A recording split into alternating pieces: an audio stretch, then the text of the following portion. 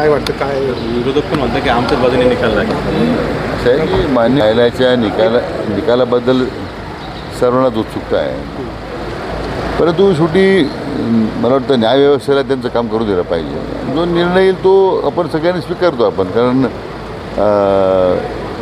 याच्यामध्ये कोणी काही सांगत असेल काही व्यक्त करत असेल मत व्यक्त करत असेल तर ते न्यायव्यवस्थेच्या मला वाटतं अं, विरोधात काही भूमिका मांडतो असं होईल. त्या न्याय सर्वोच्च न्यायालयाच्या निकालावर जो काही निकाल येईल आणि तसे आहे की शेवटी त्या ठिकाणी सत्याचा विजय होईल.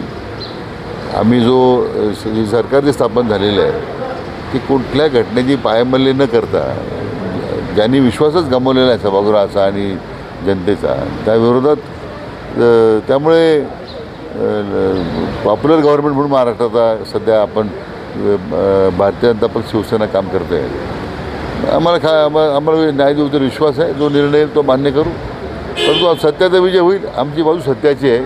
त्यामुळे आम्हाला आमच्याबद्दल आम्हाला न्यायालय न्याय न्या- सर्वोच्च न्यायालयाकडून सुद्धा आम्हाला न्याय मिळेल ही आमची आम्हा आम- आम्हाला अपेक्षा आहे.